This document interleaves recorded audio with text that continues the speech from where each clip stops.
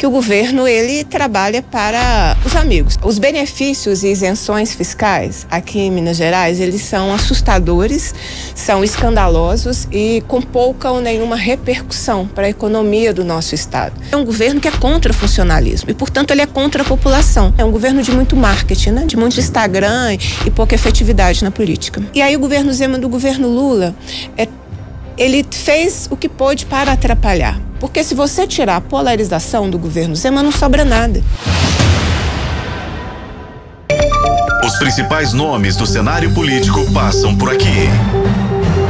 Café com Política. Hoje, recebendo a deputada estadual Beatriz Cerqueira, do Partido dos Trabalhadores. Deputada, seja muito bem-vinda aqui ao Café com Política. Bom dia. Obrigada, bom dia. Bom dia a todos que estão conosco. Eu estava mesmo com saudade de tomar esse café aqui com vocês. Bem-vinda, viu, deputada? Prazer tê-la aqui. Obrigada. Deputada, vamos conversar conversando sobre algo que está próximo de ser elaborado. As diretrizes principais do orçamento de 2025 estão colocadas. Eu queria um ponto de vista da oposição sobre uh, o que é preciso e que tipo de direcionamento o governo Zema está dando para o orçamento que a oposição considera que não está alinhado com o que deveria fazer e que a oposição evidentemente promete trabalhar para modificar nesse orçamento para o ano que vem? Privilégio para os amigos, né? Acho que esse é um ponto que o governo Zema é, foca muito. A propaganda dele é diferente, né? Como se ele fosse um não político a serviço do povo mineiro. Mas quando a gente pega, por exemplo, o orçamento, a gente identifica que o governo ele trabalha para os amigos. O que, que eu quero dizer com isso? É, os benefícios e isenções fiscais aqui em Minas Gerais eles são assustadores, são escandalosos e com pouca ou nenhuma repercussão para a economia do nosso estado. Então, se eu pudesse dizer um assunto sobre orçamento, eu diria isso, né? As diretrizes de orçamento que foram aprovadas em julho, encaminhadas pelo governo Zema, é, tem 25%, por exemplo, é, de isenção de arrecadação de ICMS. Mas como é que um Estado que está dizendo que está com problemas, que precisa aderir ao regime de recuperação fiscal, etc., né? É, abre mão de arrecadação como esse governo abre mão. Né? Recentemente, ah, em 2023, nós aprovamos uma legislação, nós não, porque eu votei contra, desculpa, é, mas a Assembleia aprovou uma legislação aumentando privilégios para grandes locadoras de carro, que já têm privilégios né? na hora de comprar o carro, na hora de vender o carro, na hora de pagar ou de não pagar impostos, já tem uma dinâmica enorme de privilégios. E ainda assim foi aprovada uma legislação aumentando privilégios. Então, é, o governo Zema é um governo governo de privilégios, né? enquanto a população não tem efetividade de políticas públicas. Para você que está nos acompanhando aqui agora no Café com Política, você consegue lembrar alguma coisa importante? estrutural que o governo Zema fez em Minas Gerais? Positiva, né? Que eu quero dizer.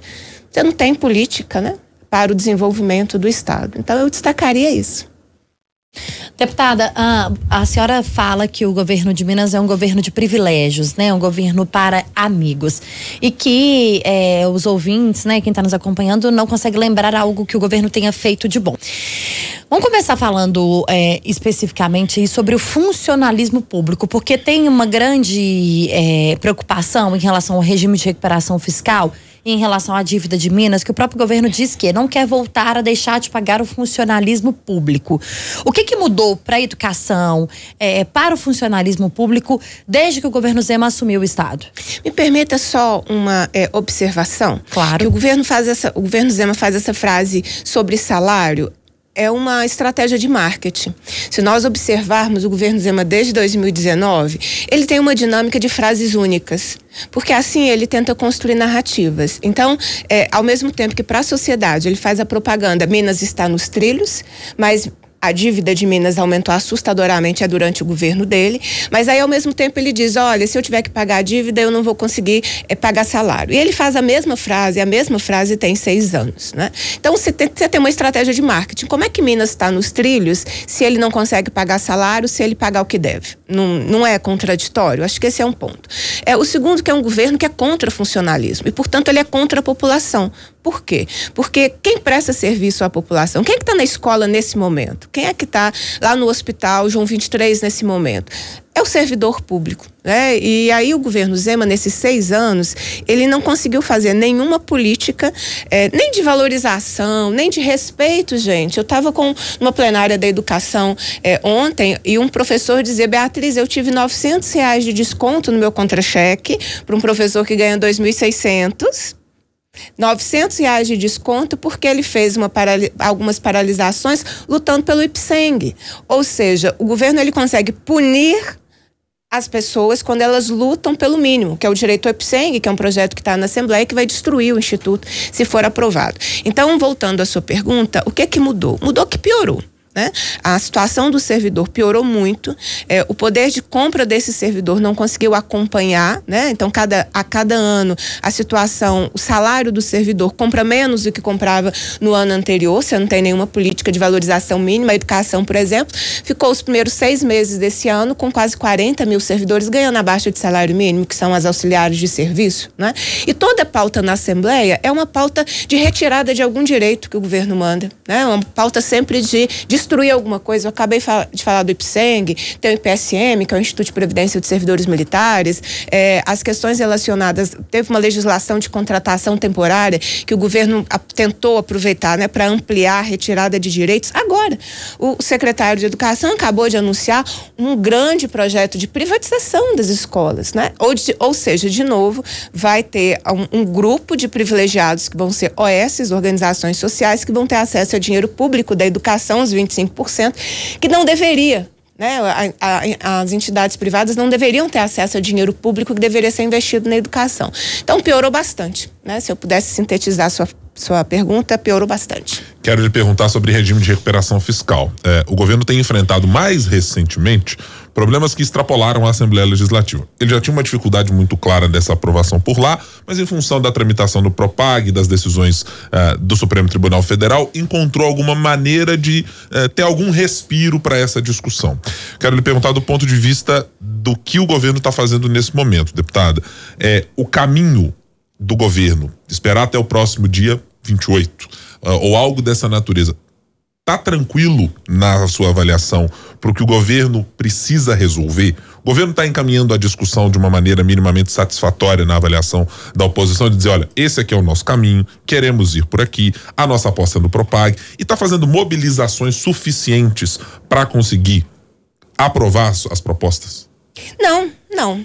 É, eu tenho, inclusive, algumas dúvidas, quer dizer, entre o marketing e a realidade. Eu vou explicar um pouquinho esse processo que eu acompanho desde 2019. É, primeiro, 2019 é, a 2022, o governo Zema tinha é um governo federal aliado e, portanto, ele tinha plenas condições de resolver a situação da dívida de Minas. Não resolveu. Por quê? Porque nunca foi interesse. Nunca foi uma questão do governo de Minas resolver o problema da dívida. E aí veio a, questão do regime de recuperação fiscal, é, que cumpre um, uma tarefa de facilitar o que o governo quer. O que, que o governo quer? Privatizar. Ele quer deixar de ter a é, escola pública, saúde pública, é, as nossas estatais, ah, entregá-las para os amigos. No início da nossa conversa, um governo de privilégios, de, alguns privilegiados. É, então, o regime de recuperação fiscal cumpria essa função, né, de facilitar que ele pudesse fazer toda essa agenda é, com uma autorização que é essa adesão. É, e o governo, na verdade, ele já conseguiu uma autorização para encaminhar a adesão ao regime de recuperação fiscal no STF. É importante a gente lembrar disso. Por que, que, essa, por que, que não foi finalizado? Por que, que o governo demorou tanto a, a, encaminhar as questões técnicas à Secretaria do Tesouro Nacional? Né? Por que, que, no meio desse processo, o governo tem posturas e comportamentos que são contraditórios com o regime de recuperação fiscal? Um Estado que está em regime de recuperação fiscal não aumenta o salário do próprio governador em 300%, nem dos seus secretários, nem do seu vice-governador.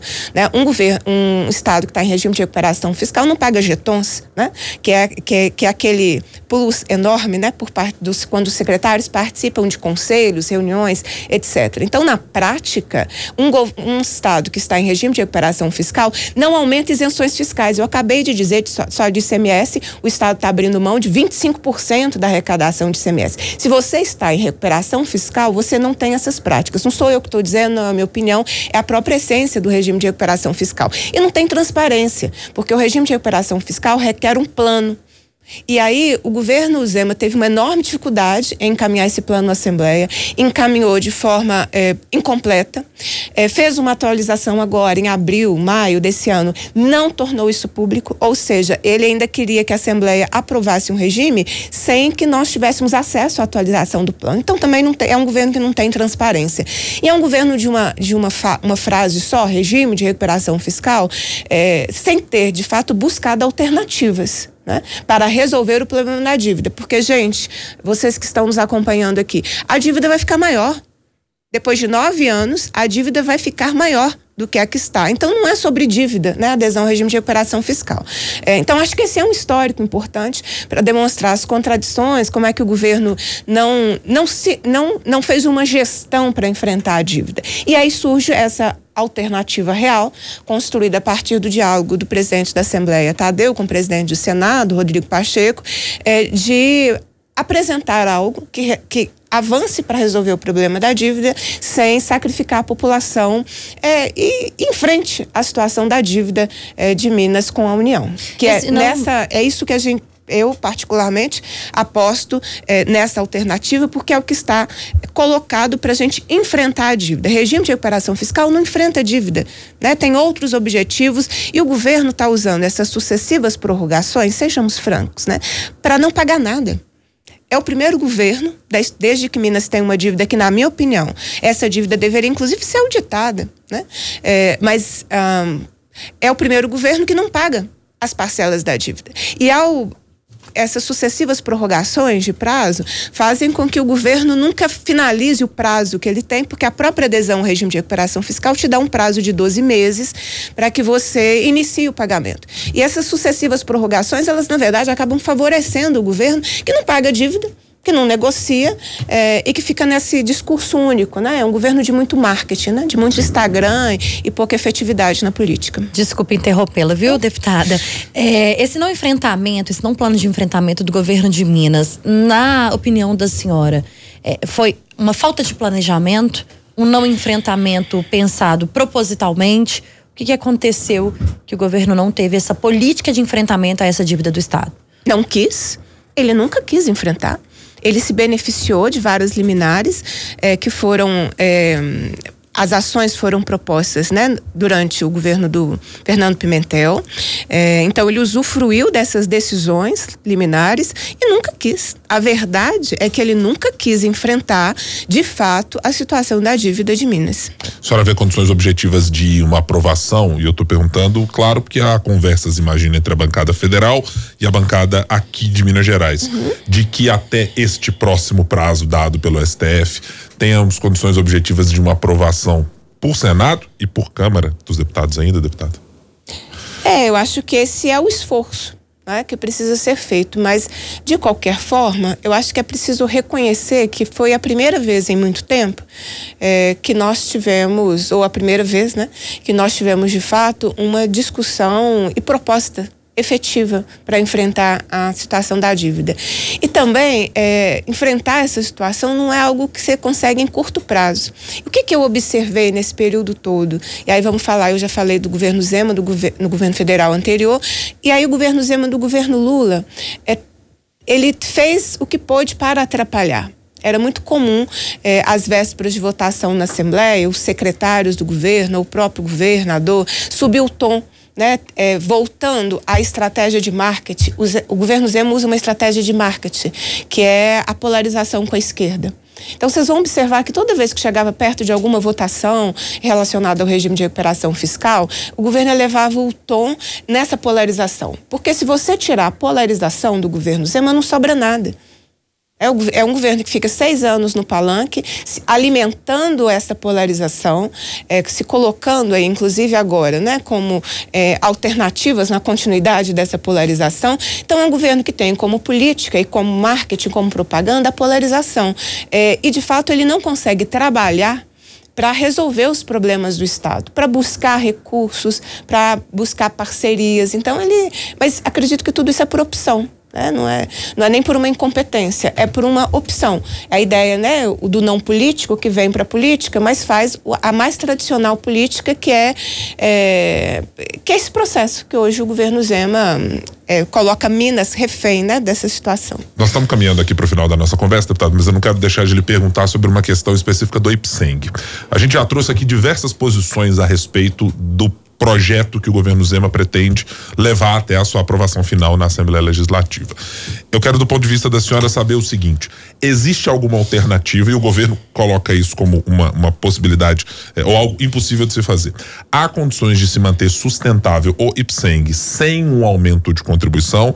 Ou a posição da oposição é: olha, precisamos de um aumento de contribuição, mas para faixas específicas, para não incluir dependentes X ou Y? Tem alguma solução específica? Eu pedi auditoria, né, IPSENG. Eu tenho uma representação no Tribunal de Contas do Estado pedindo auditoria, porque as contas do IPSENG não, não têm transparência não são públicas é, e, portanto, você não tem condições de, de, de, entender o que, que aconteceu nesse último período. Né? A gente teve sucessivos ataques ao IPSENG. Posso lembrar, por exemplo, em 2014, quando na, no final do governo é, o governo pegou o dinheiro do IPSENG, colocou no caixa único, né?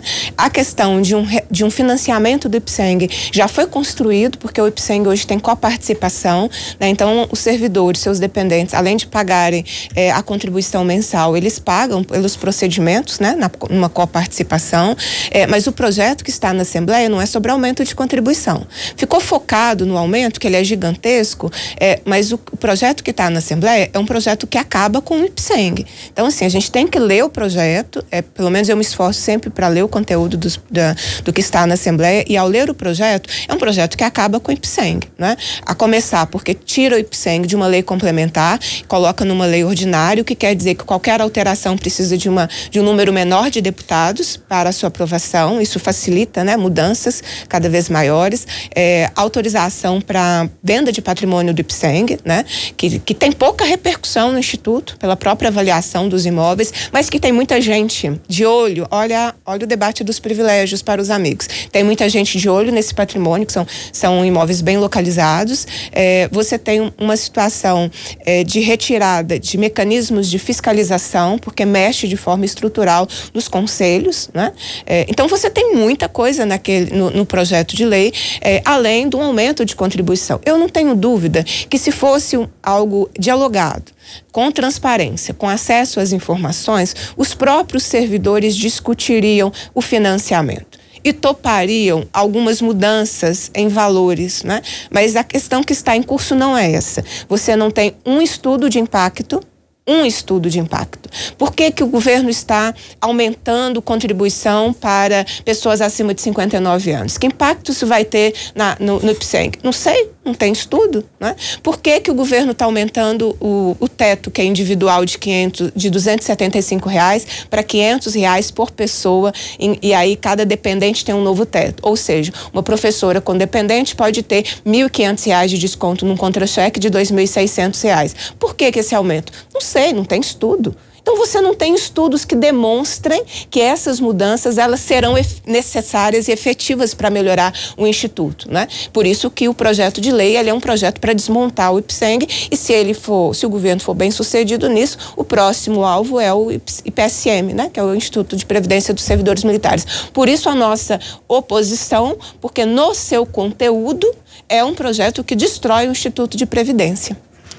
Nós conversamos com a deputada estadual Beatriz Cerqueira do PT aqui no Café com Política de hoje. Deputada, obrigada, viu, pela participação. Oi, gente, eu que agradeço a generosidade do convite, a oportunidade de estar com vocês e agradeço a generosidade de todo mundo que está nos acompanhando aqui nesses debates. E quero convidar, me permita? Claro. Quero convidar as pessoas para irem acompanhando o nosso trabalho através das nossas redes sociais. Eu faço prestações de contas diárias daquilo que a gente tem é, feito de trabalho na Assembleia Legislativa e colocando aí o nosso mandato à disposição das lutas que são importantes para Minas Gerais, para a população e para os servidores públicos. Obrigado mais uma vez, deputado, pela presença aqui no Café. Muito obrigada.